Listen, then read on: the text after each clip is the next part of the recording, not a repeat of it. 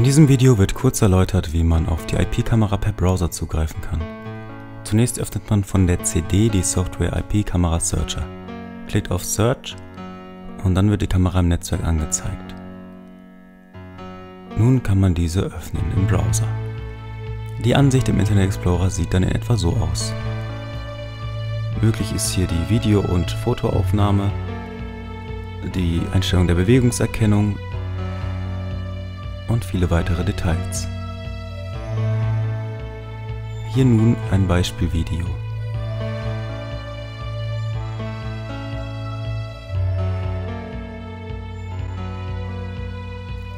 Auch die Nachtsichtfunktion überzeugt.